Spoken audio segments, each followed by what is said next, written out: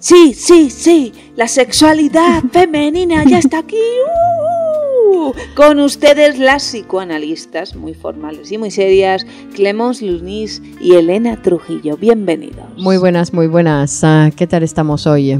Pues un poco exaltados, pero ya situándonos, porque después de toda exaltación conviene también poner los pies en la tierra, sentarse, mirar a los ojos a la otra parte y abrir la boca para hablar. Como podéis ver, estamos sentadas una frente a la otra.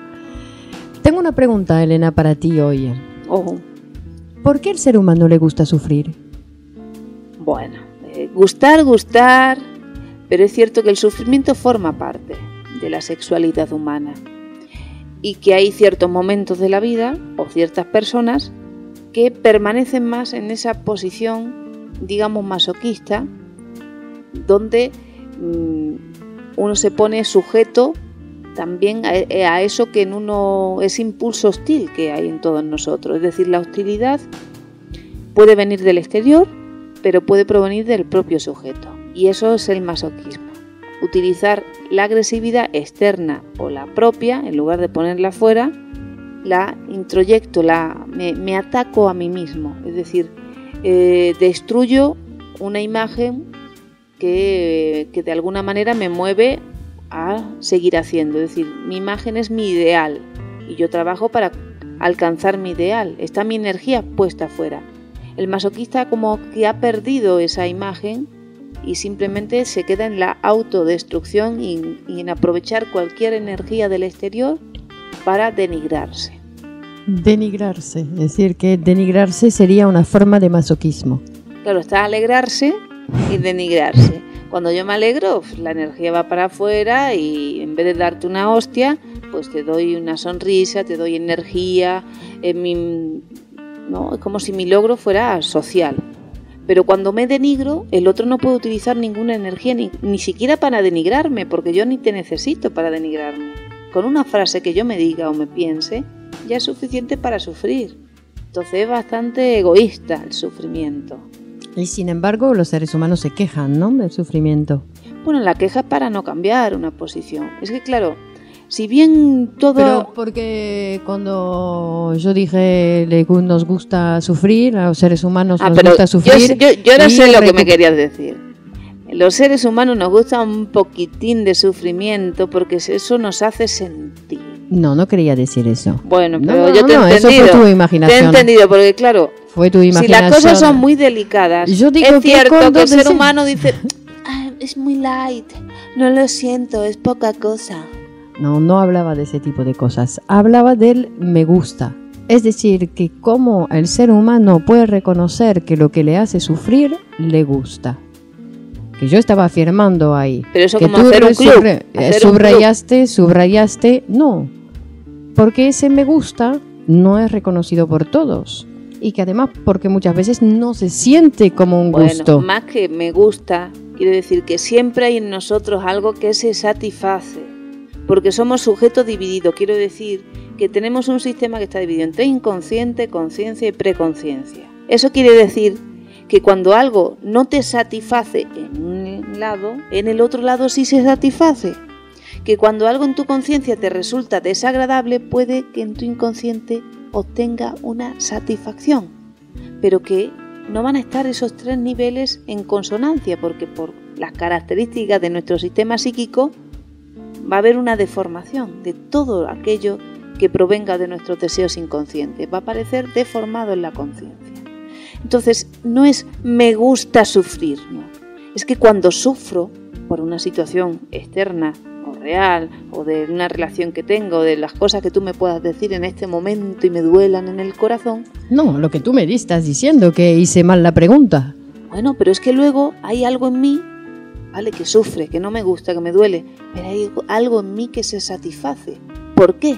Porque hay un sentimiento de culpabilidad inconsciente todas las personas, que por ser inconsciente no se tiene que sentir, pero que a veces, unido a una exacerbación de, ese sentimiento o unido a un crecimiento y a la dificultad de procesar ese crecimiento, hay como una búsqueda, una necesidad de castigo por no tolerar el propio bien. que es lo más difícil de tolerar. El bien, el progreso, la inteligencia, es lo más complejo. ¿No se han dado cuenta de que es muy fácil irse por Gran Vía y ver las tiendas llenas de gente? A lo mejor usted yo estamos ahí de compras, que es muy fácil gastar el dinero, invertir, perder el tiempo en cosas que no sirven para nada, digámoslo así. Pero que lo más complejo es hacer cosas que les beneficien a ustedes, que les hagan más inteligentes, que cuiden su salud, que les enseñe a ser personas más civilizadas. ¿No se han dado cuenta del trabajo que supone tomar esas decisiones y mantenerse en ellas? Bueno, porque el ser humano no tolera el bien. Y, y, bueno, y cuando proviene de otras personas ni te cuento, a veces te pones muy hostil. El amor existe y la libertad. Descúbrelo con nosotras. Podemos ayudarte a vivir mejor tus relaciones. Teléfono de consultas 91 55 96 436. Llámanos.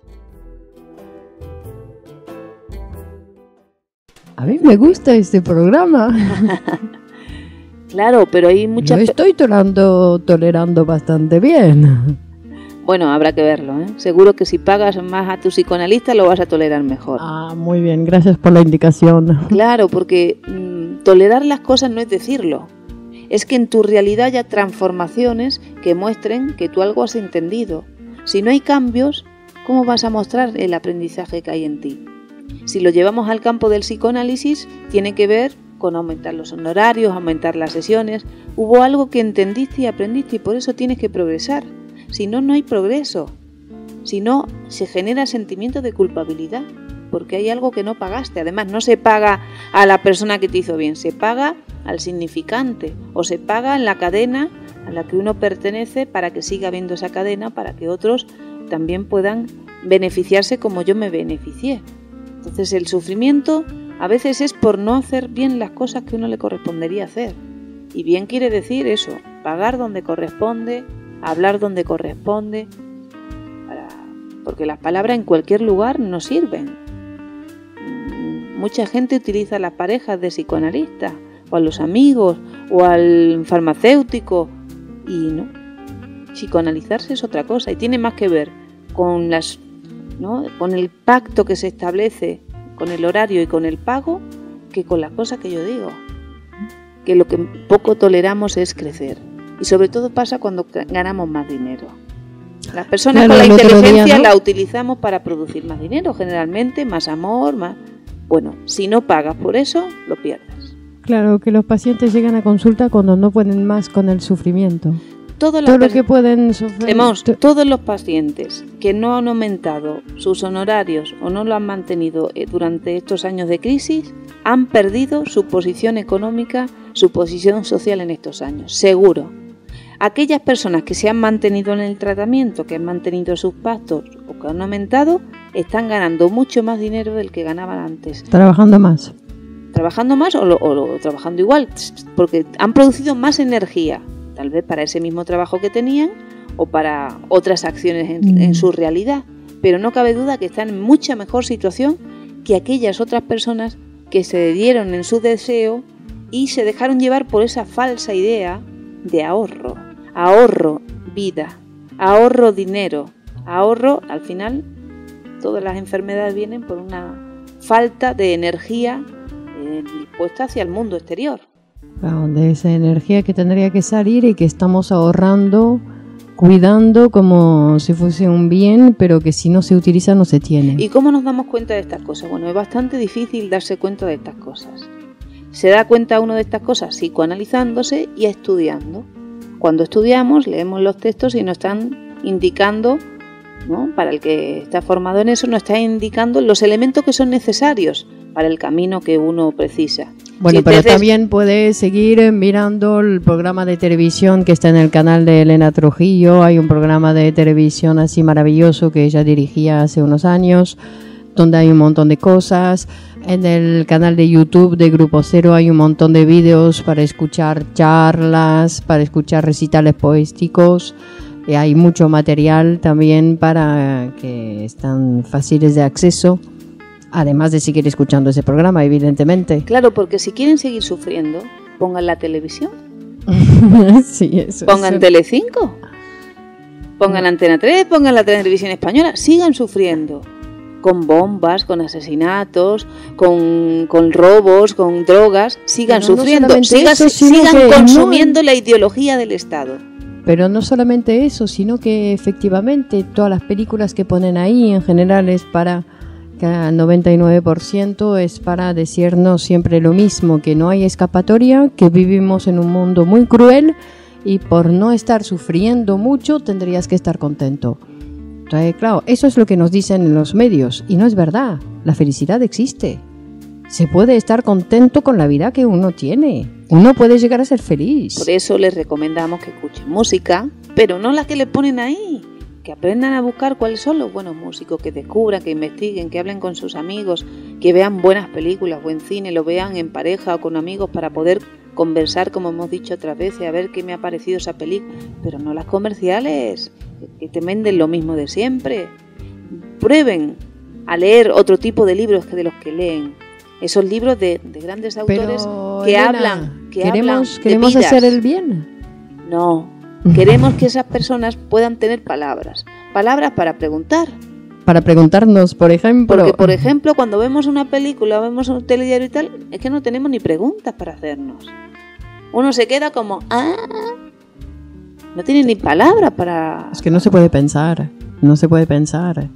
Darse cuenta que uno dice que está bien porque no sufre. No sufre con el cuerpo. Que no tiene un dolor amoroso tremendo. Entonces dice que está bien. Hoy estoy bien.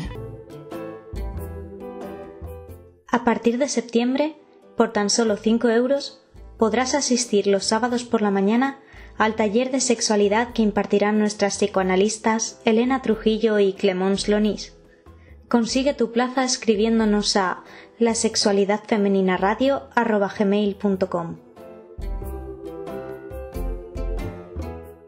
Bueno, nos han llegado a decir que nosotras planteamos una situación de las relaciones y de la sexualidad que es irreal. Ah, sí. Sí, dicen, Mm. pero bueno, ¿de qué habláis? Si estáis en la estratosfera, si la gente de día se conforma con ir a casa, con cenar con su pareja y, y, y, y bueno, ver un programa Es de que no se televisión. conforman. No se conforman. Que no reaccionen, que no hagan nada, no quiere decir que se conformen. Sino que se van, eh, van a sus fantasías a soñar y a quedarse despierto y a ima- imaginarse un mundo me- mejor. pero los una- años vuelan. Claro, exacto. Entonces la vida se hace en la cabeza. Es decir, sin ningún contacto con el exterior y haciendo mi, neurosis. mi película. Es una, sí, es la neurosis, la escapatoria. Porque la neurosis, para que ustedes no se asusten, la neurosis es que la energía psíquica, es decir, la energía de tu vida, la energía de tus deseos, no la pongas en la realidad, la tengas solo para ti, en tu mente. Y que tu mente, ¿qué pasa? Que esas ideas no existen, no es energía, por tanto es caca y a veces se generan pues eh, las enfermedades corporales. ¿Por qué? Por no haber puesto tu deseo en la realidad. Porque no importa tanto qué deseo satisfagas, ni si es bonito o si es feo, sino que no esté la energía detenida en ti. Porque yo me pregunto, ese afán de mm, querer iluminar un poco la vida de los demás con nuevas palabras, ¿por qué ese afán? Bueno, porque nosotras somos muy agresivas. Como no nos gustan las personas con las que nos rodeamos, porque nos creemos súper inteligentes, guapas, listas y divinas, queremos cultivar a todo el resto para poder aguantarlos, porque si no nos parecen feos y gordos y tontos. ¿Tú crees que es así? No, para nada. Normal. Eh, sino que creo más bien cuando hablaste de la enfermedad, la importancia del psicoanálisis justamente para que uno pueda tener otra cosa que caer en la enfermedad, porque también se tiene que dar cuenta que no es solamente uno, que a veces uno dice yo tengo buena salud, pero hay alguien de la familia que no. Entonces ese, ese alguien de la familia lleva a todo el resto a pensar qué le puede pasar, a ocuparse del otro. Es un freno en la vida enorme la enfermedad, es decir, que ahí sí que se detiene.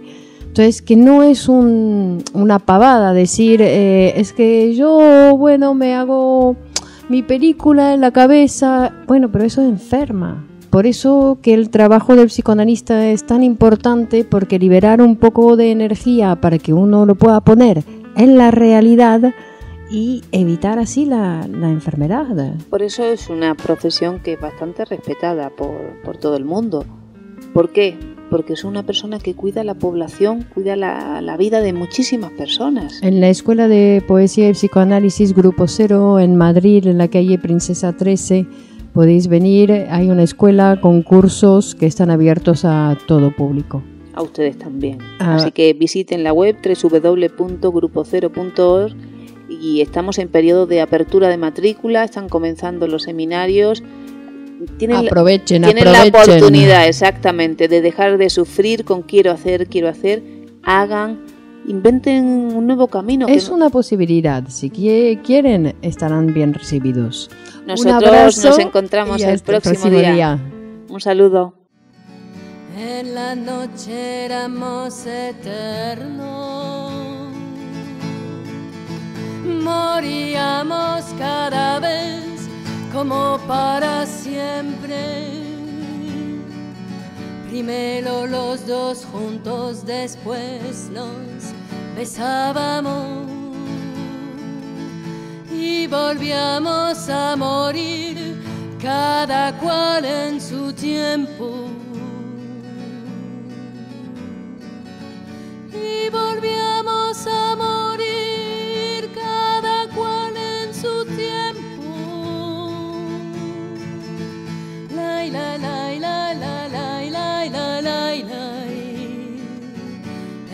En la noche éramos eternos.